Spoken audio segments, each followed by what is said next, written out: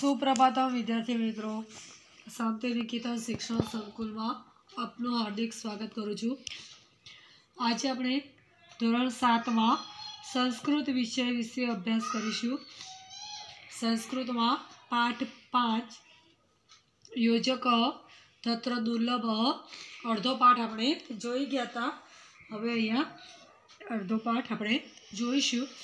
તો પાઠમાં આપણે જોયું હતું કે ઊંટ છે એ બધા પ્રાણીઓને વારાફરતી રસ્તામાં મળે છે અને બધાનો કંઈક ને કંઈક વાંક કાઢે છે.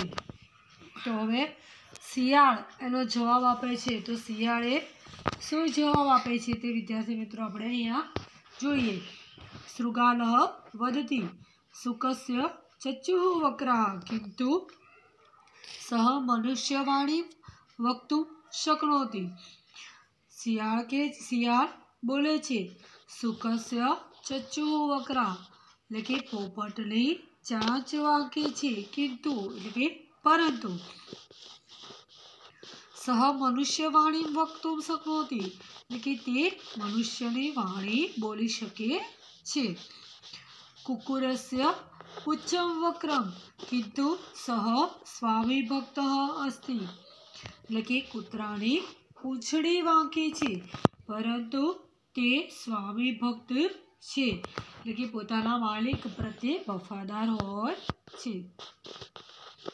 બકસ્ય ગ્રીવા વક્રા કિંતુ તસ્ય એકાગ્રતા પર પ્રચલિતા. એટલે કે બગલાની ડોક વાંકે છે. પરંતુ તેની એકાગ્રતા પ્રચલિત છે. ભવતઃ સર્વાણી અંગાની વક્રાણી સન્તિ કિંતુ ભવાન મરુભૂમ્યાः નૃપઃ અસ્તિ એટલે કે ભવતઃ સર્વાણી અંગાની એટલે કે ભવત એટલે કે તમારા સર્વાણી અંગાની એટલે કે બધા જ અંગો વક્રાણી વાંકા છે તમારા બધા જ અંગો વાંકા છે પરંતુ ભવાન મારું ભૂમ્યા નૃપ અસ્તિ આપ પરંતુ તમે રણ પ્રદેશના રાજા છો. અપી ચ તેષાં ચચ્ચોઃ પુચ્છસ્ય ગ્રીવાયા ચ પ્રયોજનો અસ્તિ.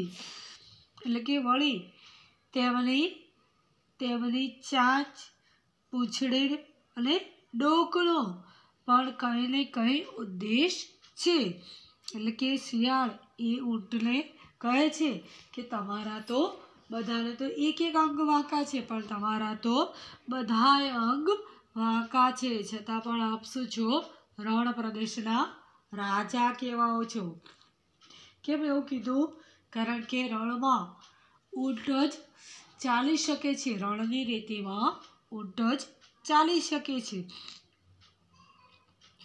એટલે કે શિયાળ એમ કહે છે કે એ બધાની પણ કોઈની ચાંચ કોઈની પૂંછડી કે કોઈની ડોક વાંકી છે, તો એનું પણ કંઈ ને કંઈ ઉદ્દેશ્ય છે જ. નિરર્થકમ ન અસ્તી એટલે કે નકામું નથી. ન અસ્તિ એ શબ્દ છૂટી પડે છે. ન વત્તા અસ્તિ. પછી છે, અમંત્ર અક્ષરમ નાસ્તિ નાસ્તિ મૂલમ અનૌષધમ. અયોગ્ય પુરુષો નાસ્તિ યોજક તત્ર દુર્લભ અમંત્રમ અક્ષર ન અસ્તિ અમંત્રમ એટલે કે મંત્ર ન હોય એવો એટલે કે મંત્ર ન હોય એવો એક પણ અક્ષર નથી નાસ્તિ મૂલમ અનૌષધમ અનૌષધમ એટલે કે ઔષધ ન હોય એવું. એટલે કે ઔષધ ન હોય એવું એક પણ ભૂલ નથી. અયોગ્ય પુરુષો ન અસ્તિ અયોગ્ય અયોગ્ય હોય એવો એક પણ પુરુષ નથી. યોજક તત્ર દુર્લભ. તે બાબતમાં યોજક જ દુર્લભ હોય છે એટલે અહીંયા વિદ્યાર્થી મિત્રો એ આપણને વાર્તા આપણે આવતી કવિતા પણ કે ઊંટ કહે આ સમામાં વાંકાંગવાળા ભૂંડા ભૂતળમાં પશુઓને પક્ષીઓ અપાર છે એ વાર્તા વા ઊંટની છે કે પોપટની ચાંચ વાંકી બગલાને ડોક વાંકી કૂતરાની પૂંછડીનો વાંકો વિસ્તાર છે. એ દલપતરામે એક કવિતા એ લખેલી છે. તો અહીંયા વિદ્યાર્થી મિત્રો, પાઠ પૂરો થાય છે.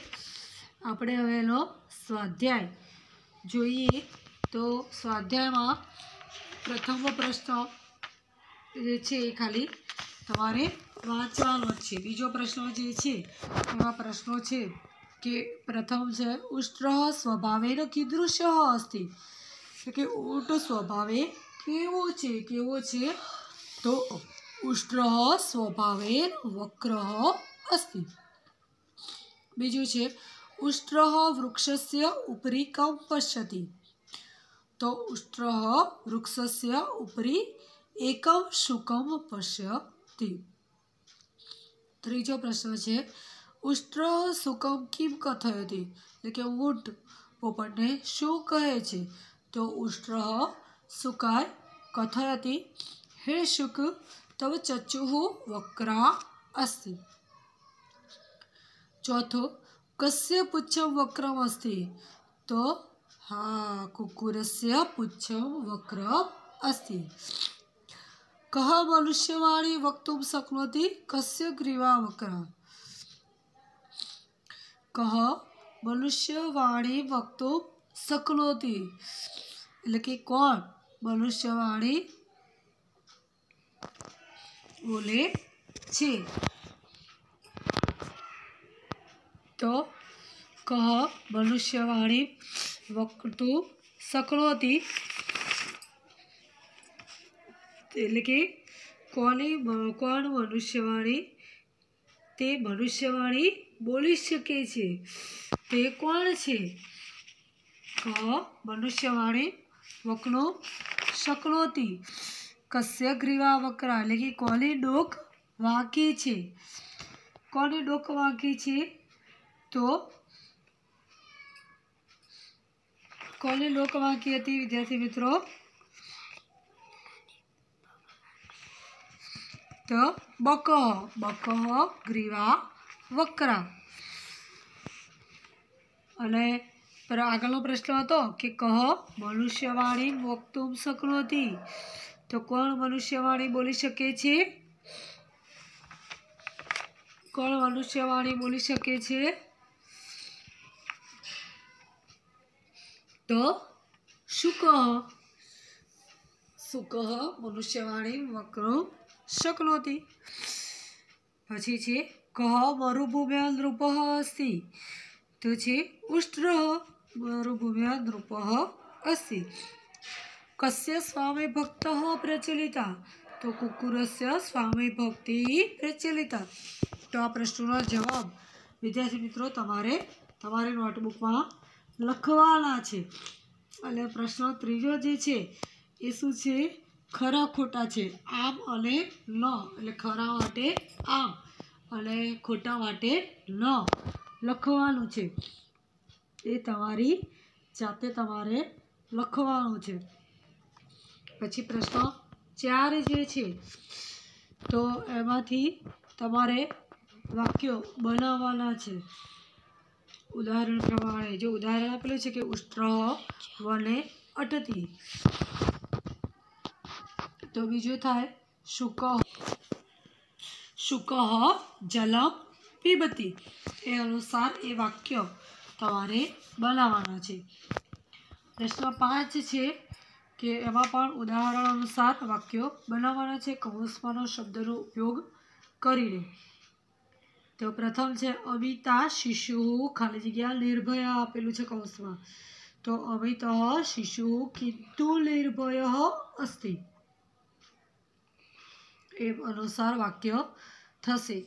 એ વાક્ય તમારે જાતે બનાવવાના છે.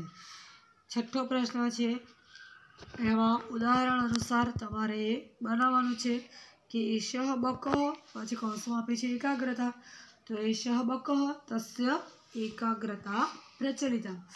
એ અનુસાર વાક્યો બનાવવાના છે. એષ સુક, ખાલી જગ્યા સ્વામી ભક્તિ. તો એષ સુક તસ્ય મનુષ્ય વાચા પ્રચલિતા